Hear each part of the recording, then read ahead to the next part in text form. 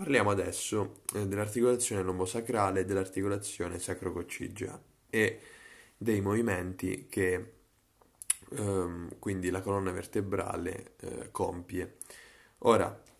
eh, l'articolazione lombosacrale eh, è l'articolazione tra la quinta vertebra lombare e il sacro e in particolare tra la faccia intervertebrale inferiore della eh, quinta vertebra lombare e la superficie articolare del, eh, diciamo della, eh, quindi la superficie articolare ovalare della base del sacro che poi corrisponde alla faccia intervertebrale superiore della prima vertebra sacrale. Eh, tra quinta vertebra eh, lombare e sacro si forma appunto il promontorio, una sinfisi, i legamenti di rinforzo sono gli stessi, quindi longitudinale anteriore e posteriore e poi eh, tutti i legamenti a distanza, gli stessi del resto della colonna vertebrale, si aggiunge eh, un legamento eh, tra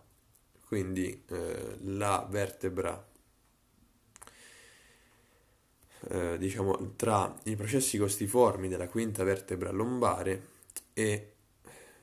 quindi la cresta iliaca, il legamento ileolombare che vediamo qui, quinta vertebra lombare, cresta iliaca. Um, ora, e vabbè, um, poi questo legamento iliolombare interessa anche i processi costiformi della quarta vertebra lombare. Ora, eh, per quanto riguarda invece l'articolazione sacrococcigea, essa è una sinfisi, quindi eh, interposizione del disco fibrocartilagineo. Tra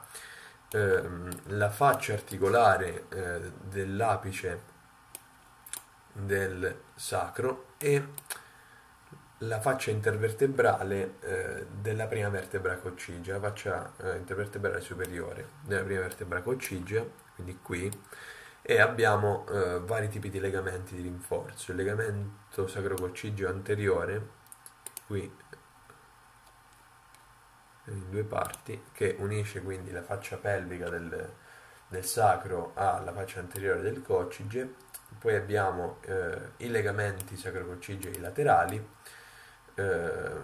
che appunto uniscono le parti laterali del sacro eh, ai processi trasversi del coccige ehm,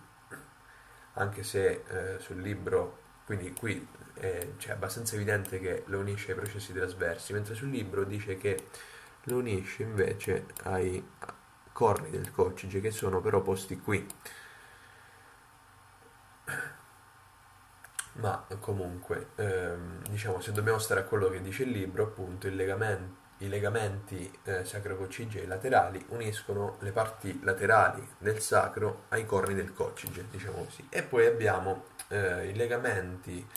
eh, sacrococcigei posteriore superficiale, eh, quelli prendo tutti e due, e profondo, che uniscono la faccia dorsale del sacro a quella del eh, coccige.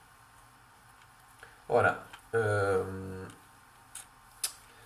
per quanto riguarda i movimenti concessi, allora, ehm, i movimenti della colonna vertebrale dipendono eh, dal, eh, quindi, dalle relazioni tra i corpi delle vertebre e dei processi articolari delle stesse. Dunque, ehm, e quindi sostanzialmente ehm, anche dalla deformazione che ehm, può avere il disco fibrocartilagineo, eh, per cui allora eh, abbiamo movimenti. Allora un attimo